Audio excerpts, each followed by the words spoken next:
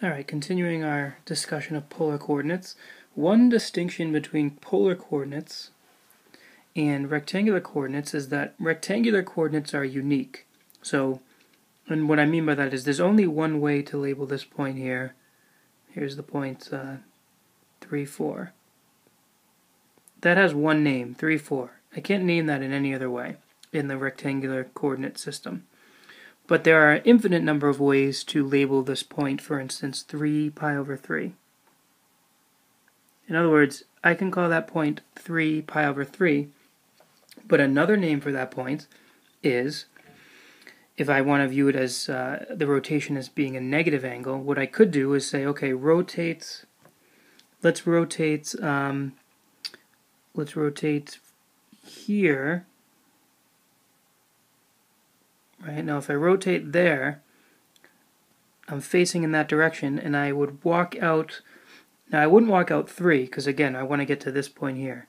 If I rotate that that angle, that angle would be what? It would be 4 pi over 3, right? Because it would be it would be 30 degrees short of 270. So it would be 240 degrees, and that's 4 pi over 3. So I could rotate 4 pi over 3. Um, but I'd have to walk backwards three steps to actually get to this point. So another name for this point is negative 3, 4 pi over 3.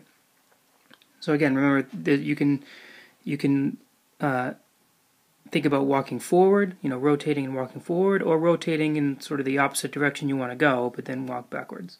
It's another way to label that point.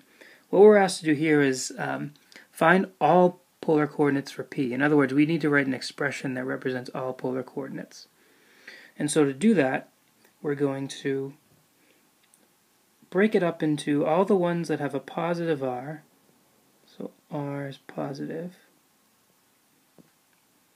That'll be these guys here. And then we'll do all the ones where r is negative. So if r is positive, you'd be walking out 3. If it's negative, you'll be walking backwards 3.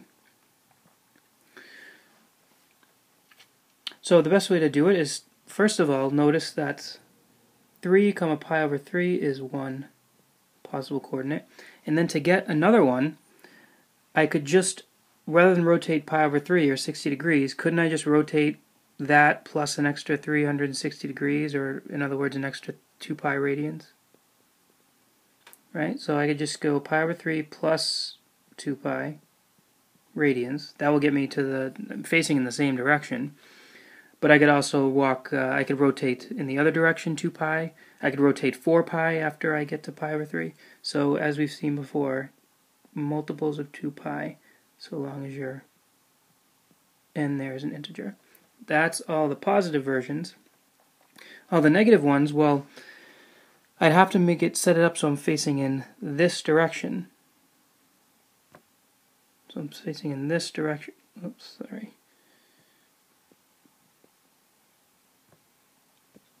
Right, all the angles that I'm facing in this, in which I'm facing in this direction, but then I walk backwards 3. So we already know 1, rotating 4 pi over 3 and walking backwards 3 will get me to the point P.